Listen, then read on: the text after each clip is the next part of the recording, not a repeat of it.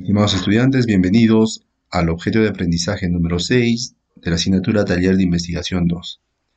En esta oportunidad veremos la redacción de los capítulos 3 y 4 del informe de tesis. Empezaremos cuestionándonos, ¿en qué consiste la metodología en una investigación? Ya que el capítulo 3 está relacionado justamente con la metodología de investigación. La, metodología de investigación viene a ser el camino que vamos a seguir para poder desarrollar nuestra investigación y poder comprobar las hipótesis en última instancia.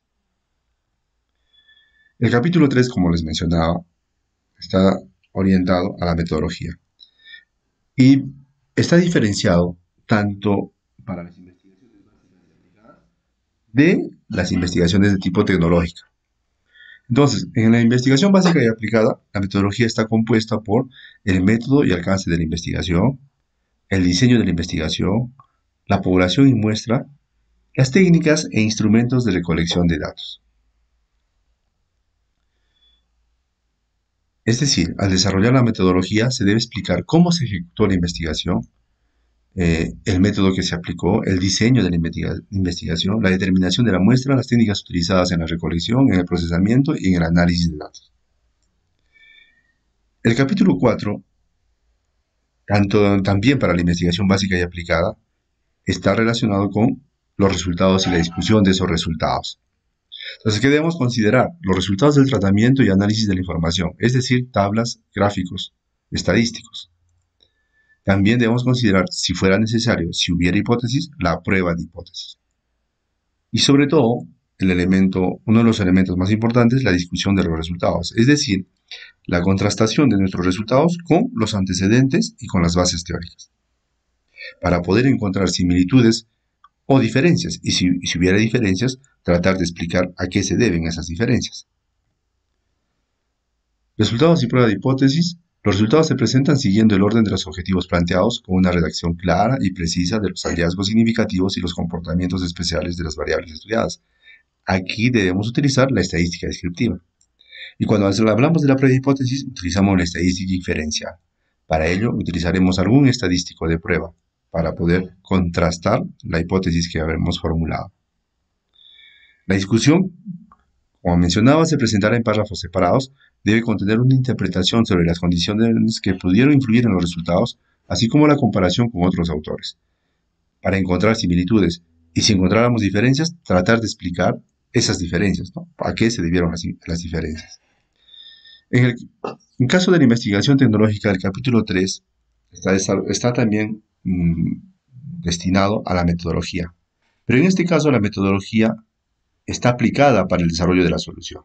Es decir, el investigador deberá seleccionar un modelo de proceso según la naturaleza de su investigación, según lo que va a diseñar, inventar e innovar. Asimismo, seleccionará los métodos y las herramientas que se deben utilizar. Debe justificarse la selección de dicha metodología de trabajo. El capítulo 4, en el caso de la investigación tecnológica, está orientado al análisis y diseño de la solución.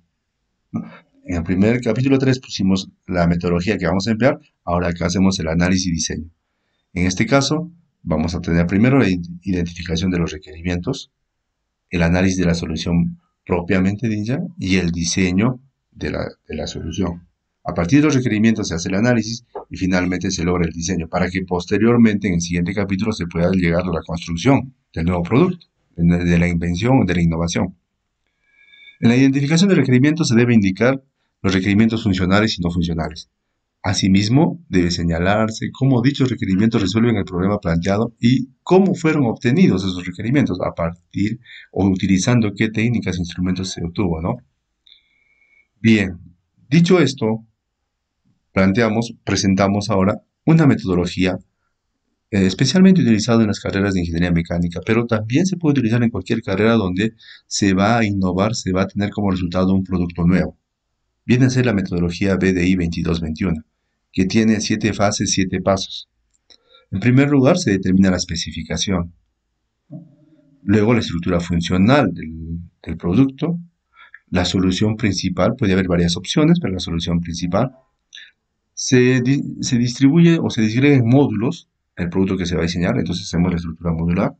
A partir de ello, los diseños preliminares, con algunos cálculos bastante gruesos, y luego viene el diseño definitivo, donde ya utilizaremos sobre todo software para poder tener un diseño más exacto. Y con ello habremos concluido la invención del producto. Finalmente, hay que tener la documentación de ese producto, los documentos del producto. Conclusiones. En la investigación básica y aplicada, la metodología explica cómo se ejecutó la investigación, la muestra y técnicas utilizadas en la recolección, procesamiento y análisis de datos. En cambio, en la investigación tecnológica, la metodología consiste en un modelo de proceso según la naturaleza de la investigación y de la aplicación, los métodos y las herramientas que se van a utilizar o se utilizaron ya cuando hablamos del informe de tesis. Muy bien, muchas gracias por su atención.